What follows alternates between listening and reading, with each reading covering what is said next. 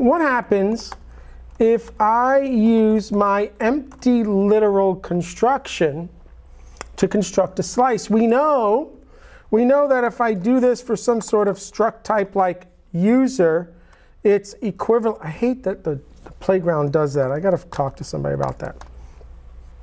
We know um, if we use empty, empty literal construction for struct type like user, these two lines basically give you the same thing, right? A zero valued uh, user value, right? And this is why, again, I keep wanting to do this over this because we're using the term empty. But I said that empty literal construction doesn't always give you zero value. And here's one of those cases, all right? In this case, you're not going to get a zero valued slice. You're going to get a literally what that syntax stands for. You're going to get an empty slice. Now, why do we need the concept of an empty slice? Eric, come back to me. Well, what if you did a query in your system? What if you did the following query?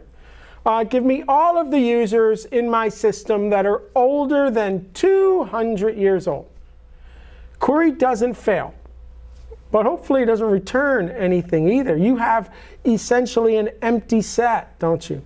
And so when it comes to a collection, we really do need the concept of empty, right? Because there are times where we, we have an empty set of users, an empty set of something. And so we need this semantic in the language. Empty, empty literal constructions giving us an empty set. You see?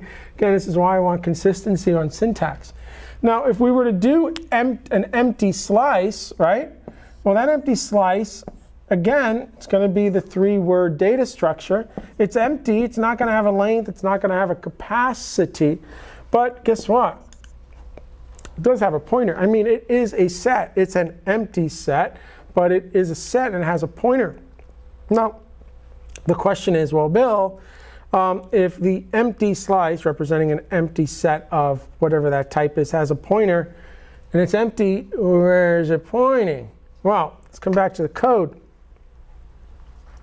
Go has another interesting type called the empty struct. And the curly brackets are actually part of the type's name. This is the empty struct. Now the empty struct represents really a zero allocation type. And I can declare variable after variable after variable of the empty struct, and all of these values would represent the same address or memory location because they're all bound basically to a single value that is part of the runtime. That's how the runtime knows that we're dealing with empty.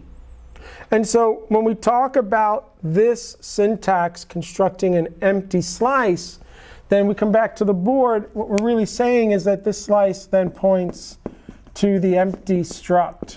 Okay, points to the empty struct. So um, there we have it that represents empty. And the semantics are important because if you pass a nil slice to the JSON marshaller, you know, and you tell it, hey, marshal that into JSON, well, you're going to get null here. But if I tell the JSON marshaller to marshal this into JSON, then we'll get the empty collection in, in JSON syntax. So the, the semantic is critically important, and, and there we have it. OK, Eric, come back to the code.